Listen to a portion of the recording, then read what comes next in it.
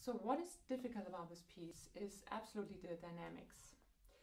I have to play from pianissimo to fortissimo or fortissimo even and sometimes in very quick changes so with a very quick crescendo and to do this still organically is quite difficult especially because I decided to do everything in pianissimo with the lip control so I'm using lip control to have the wind channel only slightly open which needs a lot of pressure so I realize my lips get quite tired after practicing it.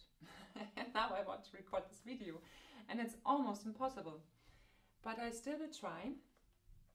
And since this is a workshop, I think I'm allowed to fail.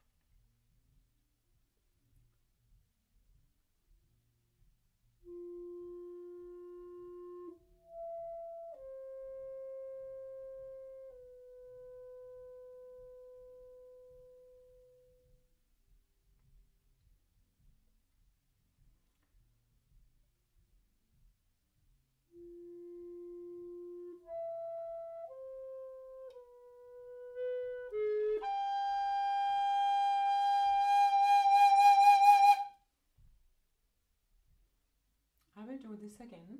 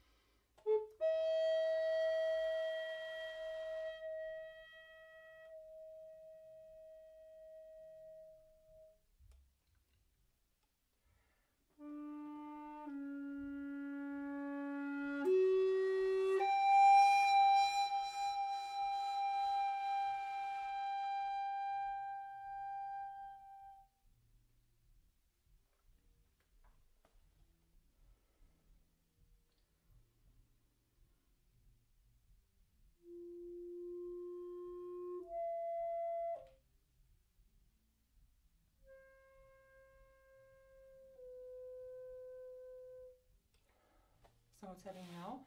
I have already too much tension on my lip and um, then I press too much and there's no sound anymore. So what I have to really learn is to um, get relaxed while using this lip control. So I do this from the beginning of the line. already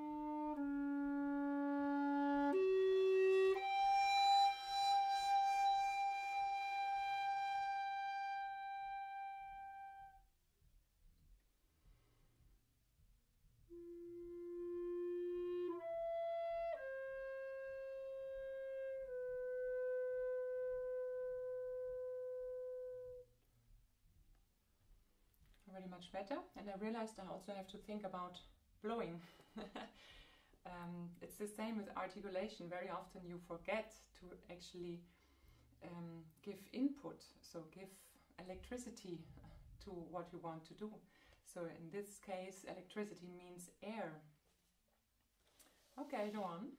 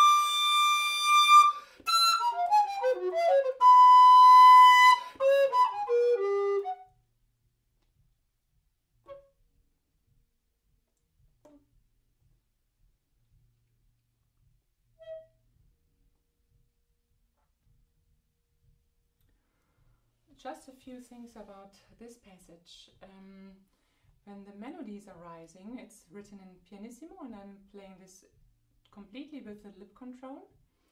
Here you have to be careful to not move the instrument too much. This is why I'm using quite a lot um, a finger to keep the instrument in balance. So in this case, it's my right index finger. And then I decided to go into niente, not with the lip control on another spot, but to do it with the thumb, so with a finger. So it's a gradual decrescendo. I can play this passage again and have the connection to the presto possibile furioso. and I'm using quite a lot of um, forte fingerings to give the instrument a lot of resonation. So I put, for example, um, pitches from the second register into the third register.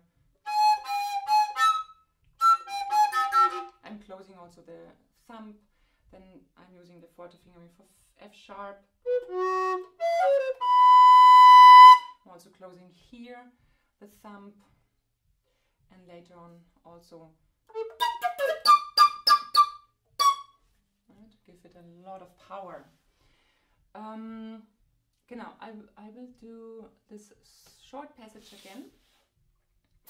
So you hear uh, the connection with the thumb and then going into the lip control.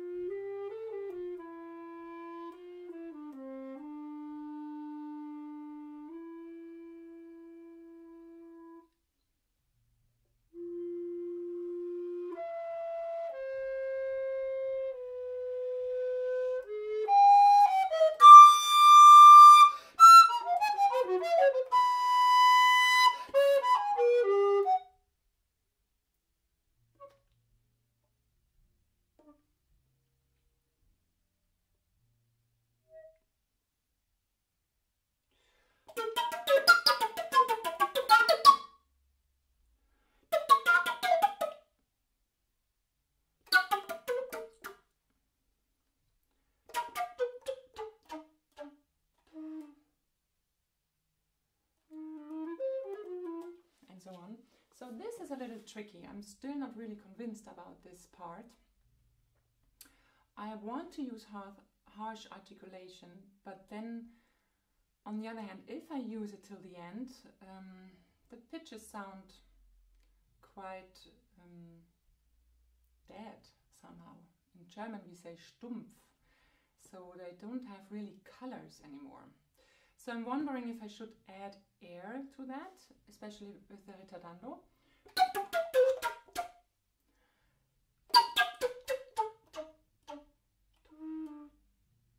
This might be a nice solution for that, but I'm still figuring this passage out.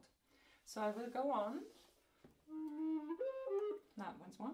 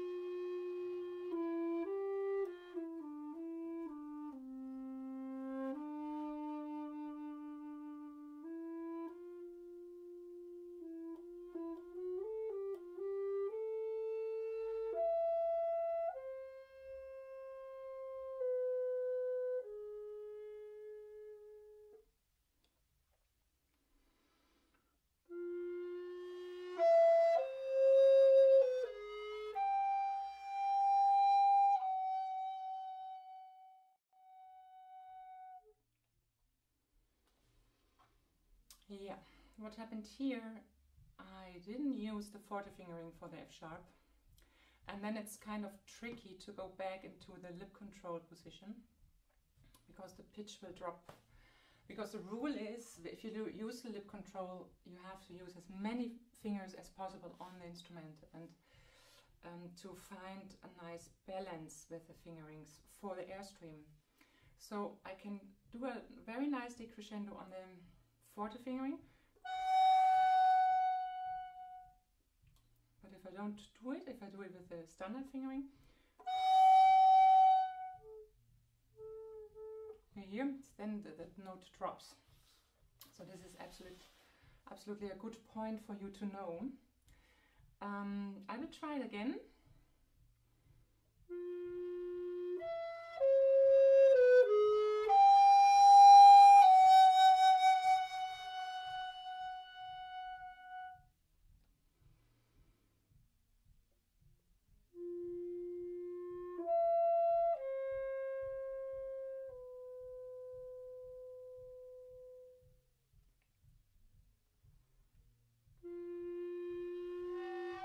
Hmm.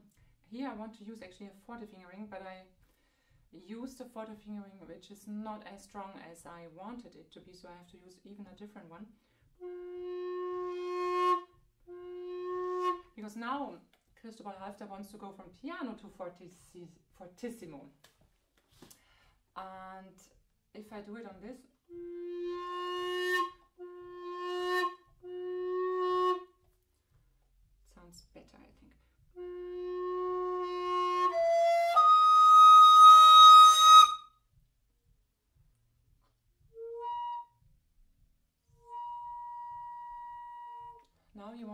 piano in the third register and I thought this would be nice with the lip control as well.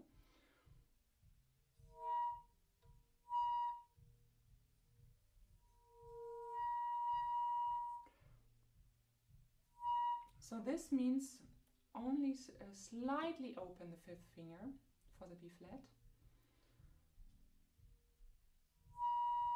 You just have to think about relaxing this finger. This is already enough. If you think about opening, it's already too much.